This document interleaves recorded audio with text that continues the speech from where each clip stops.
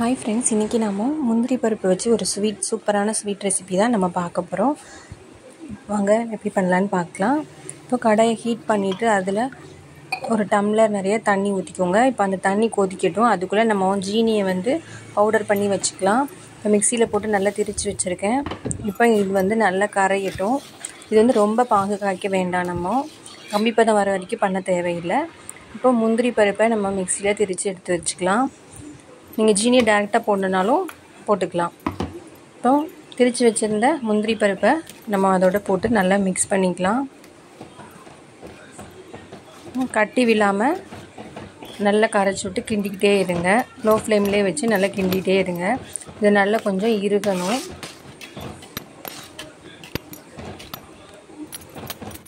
இப்போ இதோட கொஞ்சமாக நெய் சேர்த்துக்கலாம்.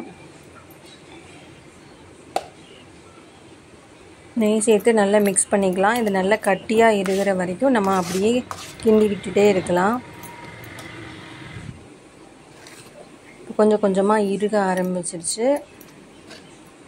இப்போ நல்லா கட்டி ஆயிடுச்சு. இப்போ நம்ம ஒரு பிளேட்டில் எடுத்து வச்சுட்டு லைட்டாக ஆறுனதுக்கப்புறமா நல்லா அப்படியே சப்பாத்தி கட்டையை வச்சு நல்லா ஸ்ப்ரெட் பண்ணி விட்டுட்டு கத்தி வச்சு நல்லா கீறி நம்ம பீஸ் போட்டு எடுத்துடலாம்.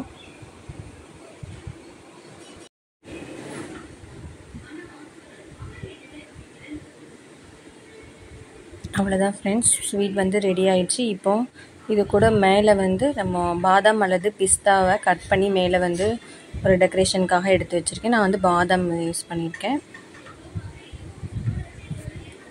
இது மாதிரி எல்லா ஸ்வீட்லேயும் மேலே வச்சிடலாம்.